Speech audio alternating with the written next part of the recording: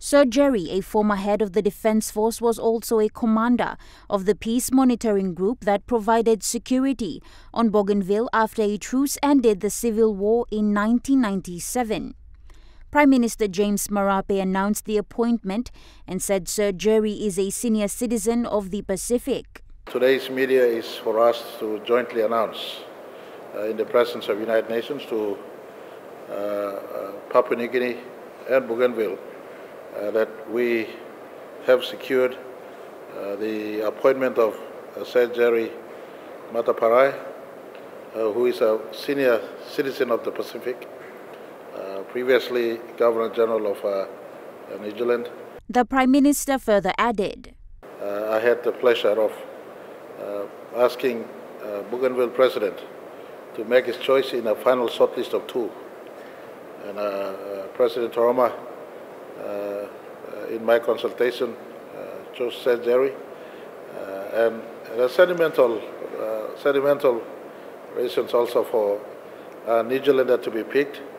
It was really the history of us finding peace that we enjoy today was born out of the spirit of uh, Uh, the land of the long white cloud, so to speak.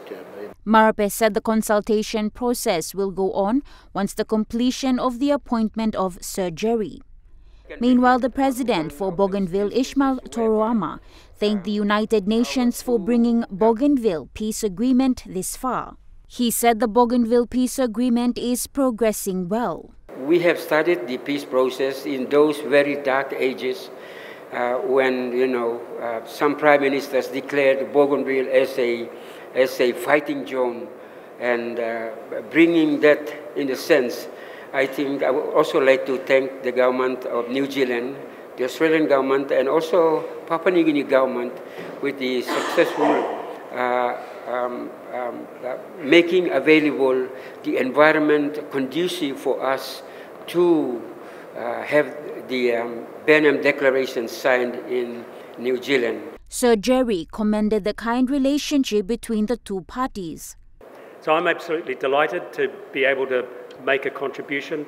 I'm absolutely honoured to, to be here and humbled that um, these two leaders have chosen to help me help you to do what we are set out to do.